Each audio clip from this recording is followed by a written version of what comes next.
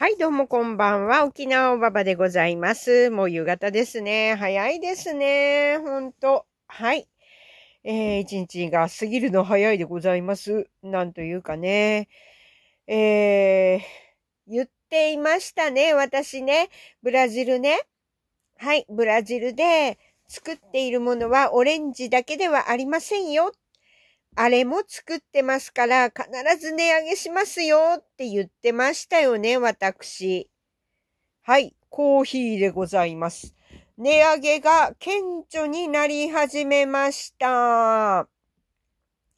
はい、これもとんでもない値上げになりますね、コーヒー。本当に今のうちにコーヒー好きな方はコーヒーを備蓄しておいてください。はい、えー何が起きたかというと、キーコーヒーです。はい。キーコーヒーが来月から家庭用、業務用とも、家庭用と業務用、両方ですね。はい。20から30%の値上げでございます。はい。10%とかじゃありませんからね。皆さん、あの、30%値上げされます。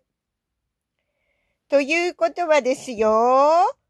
はい。えーここからコーヒー豆を買っている、うーまあ、小売店ですね。も上がりますし、えーわかりますよね。喫茶店とかで飲むね、コーヒーも上がります。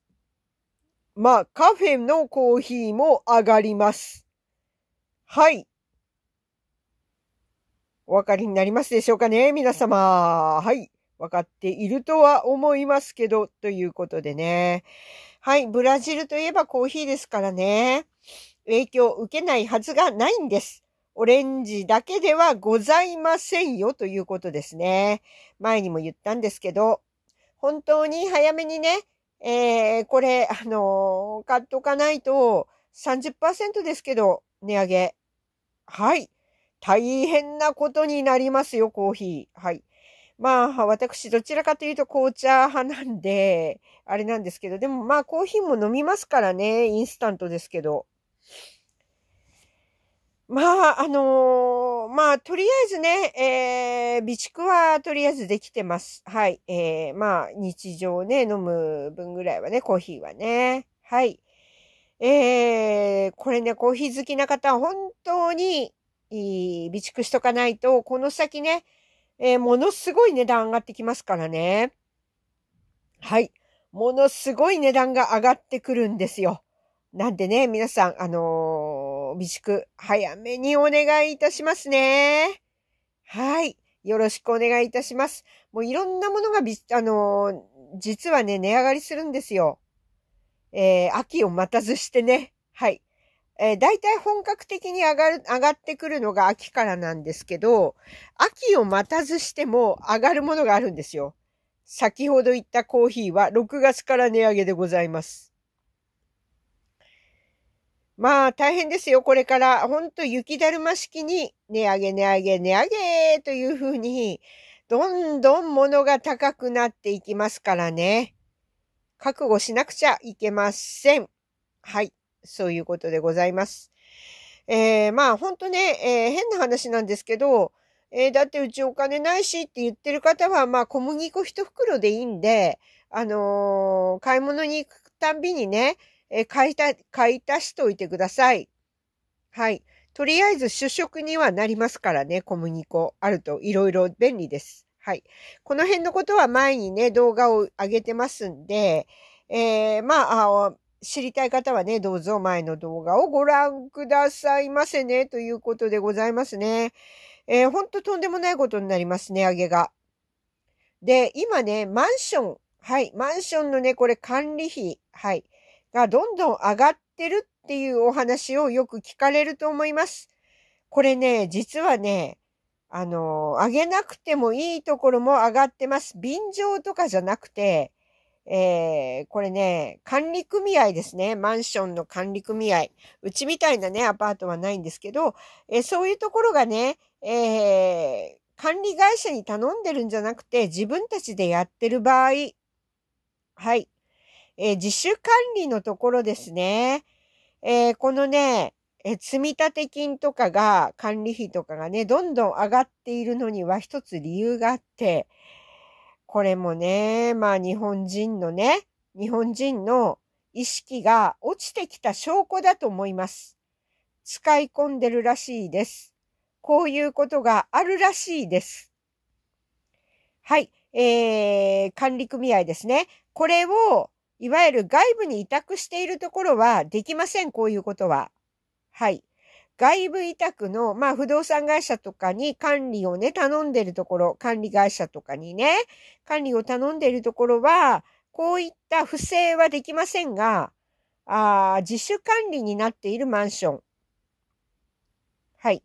管理費で、えー、飲み会とかやっちゃっててね、足りなくなってるんで、その分、上乗せされてますよということです。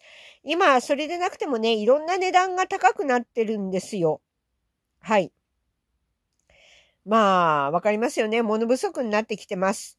そんな中でね、こう、なんていうのかな、こういうことでお金を使われて、えー、管理費が上がるというのはバカみたいなんでね。皆さんよくよくそういうところに住んでる方、はい。えー、よくね、監視してください。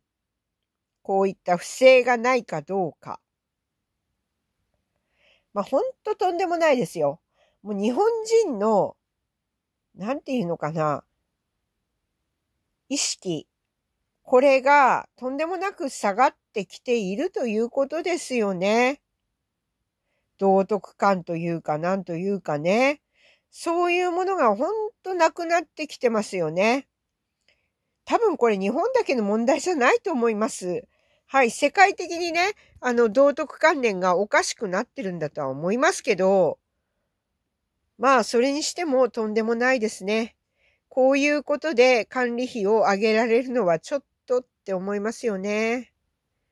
はい。えー、もう低くなった道徳感をね、もうほんとね、元に戻すのは大変かもしれませんね。そういうことでございます。えーとですね、こちら2つの記事、概要欄の方に貼っておきます。皆さん見に行ってください。コーヒー。はい。来月からね、キーコーヒー30%値上がりします。はい。いろいろ影響出てきそうですよ、皆さん。